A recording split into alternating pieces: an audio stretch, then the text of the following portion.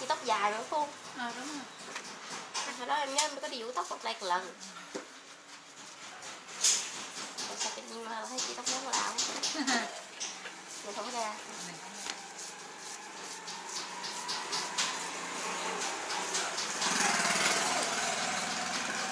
Trời ơi, lông mi đẹp quá trời luôn Ừ. Mi này mi đẹp quá Trời ơi, lông mi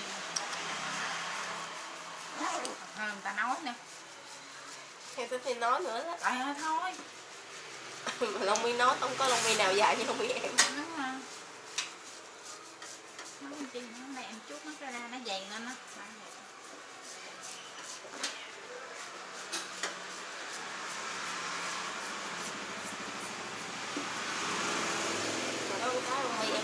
Uống mi không bao giờ cong Vậy hả? uống không bao giờ cong đi uống mà thợ uống bó tay luôn. Nói em mà uống hoài không đông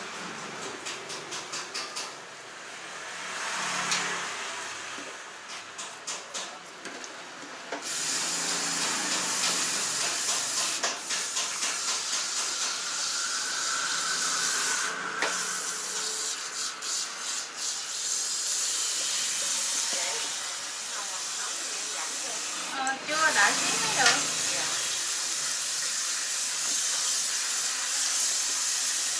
Đâu không chị? Gọi cái đầu nè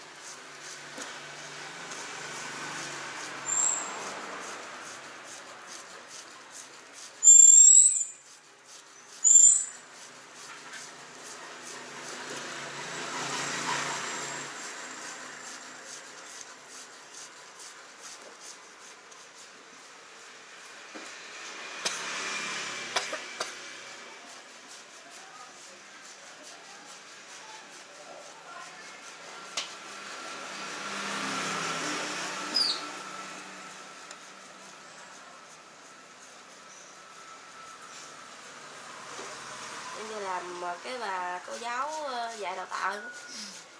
Trời Năm mi năm mi Việt hay năm mi giả?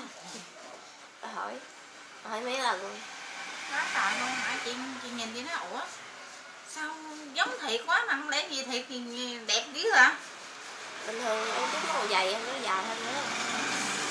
Bà nhìn nó mi giả Bà hỏi mi giả. Còn chị kia hỏi lông mi nói đâu? Ba thiệt với nó trời. Ai cũng là trời Ừ. chứ Nó chỉ có nhỏ bạn nó cũng 80 với em. Đẹp nó đẹp mà là cong hơn của em nha. Không y hệt như là mình uống vậy đó Đẹp lắm. Nhà em cũng có nhỏ em lông mi nó dài không bằng em nhưng mà nó Cong đẹp ghê. nó không giúp à. Ừ nó không nhúc như Ồ con nhỏ hay thì nhìn đã lắm từ nhỏ Ừ. tới lớn luôn em thì dài nhưng mà nó sụ Ờ, còn của em rậm nè nó thiệt chắc người ta là- cũng tin tại vì có lông mày nhìn thấy biết mà. Đúng rồi.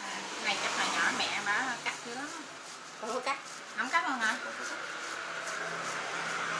giống ba. Rửa mặt không em? Dạ rồi chị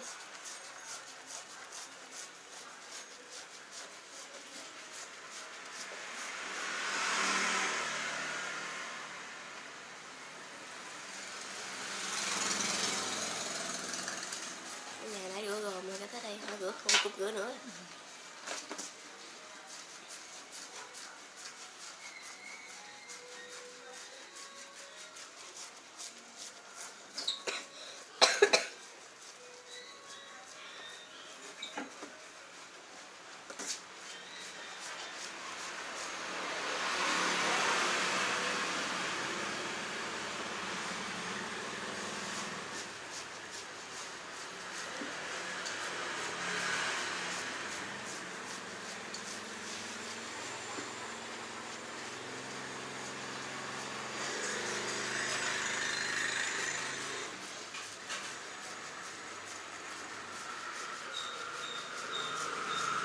ở đây gì làm á nhưng mà mình có món giả.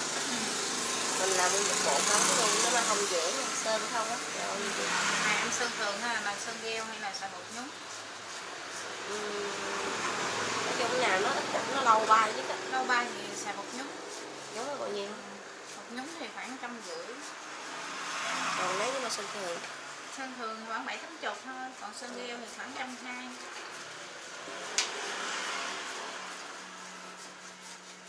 em có móng tay mà em đi làm á em sẽ phải vuốt. Cắt chưa? Em làm công việc gì? May. May đồ á hả? Ừ. tự nhiên mình xài bột nhúng nó cứng lắm em nó sợ nó giải á thuê đưa giải thun rồi nữa nó móc vô nó vuốt. Nó lật nốt đau lắm. không cái à, xài cái tiếp này nó không có à, đắp như là cái móng dạng mà móng mình gắn bình thường. Cái móng mà để mình xài bên bột nhúng nó khác với cái móng mà giả bình thường. Móng giả bình thường nó mà để trơn gắn. cái này nó trơn không phải không? Nó trơn nhưng mà nó nó, nó dính chặt lắm em. Cái kiểu là mình để gắn là để xài một nhúng là nó riêng. Ừ. nhúng cái sơn là xài cái đó. Trên mạng ta để để trên mặt nước mình vuốt ra vô cái lọt ra vậy lọt cái dành ra vậy thôi không cái hũ bột Vô là bột. đúng rồi nhúng vô hũ bột còn nhúng vô mặt nước đó là sơn thủy. Sơn thủy ừ. nó, nó nhiễu ờ, vô màu sơn vô nước á à là chỉ có làm cái dẻ. đó không không cái đó không có làm cái đó thấy nó là lạ ừ. cái nước ngoài ta mới làm chứ mình không nhiễu tại vì sơn đó là dạng sơn lon ừ. em nhiễu vô nước là nó lon ra còn sơn của mình nhiễu vô nó cứng ngắt luôn nó thấy nó lon giống như cái miếng giấy vậy đúng rồi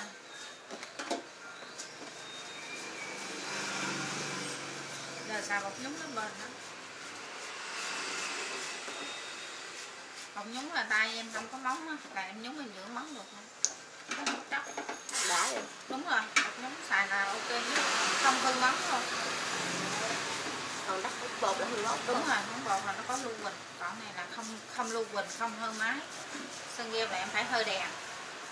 Hư đèn Ừ. như ấm ấm đúng rồi em phải hơi nó mới khô được cái reo còn một nhúng này em không cần phải hơi. Mà làm công chuyện nhúng nước nhiều nó có bình thường.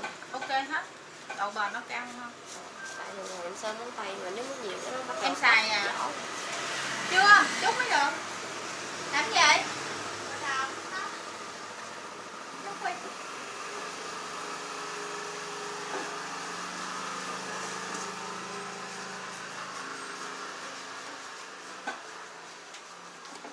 xài một nhúng là em xài được khoảng 3 tuần là nó ra móng á.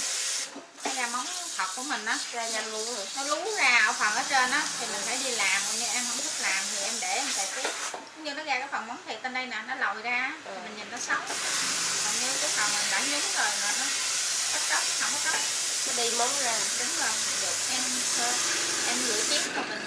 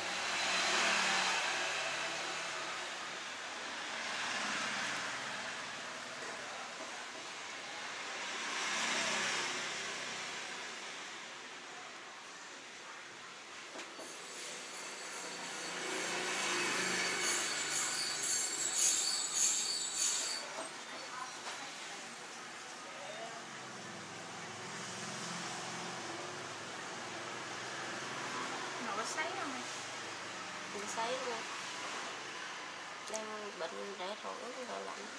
Cứng luôn trời lạnh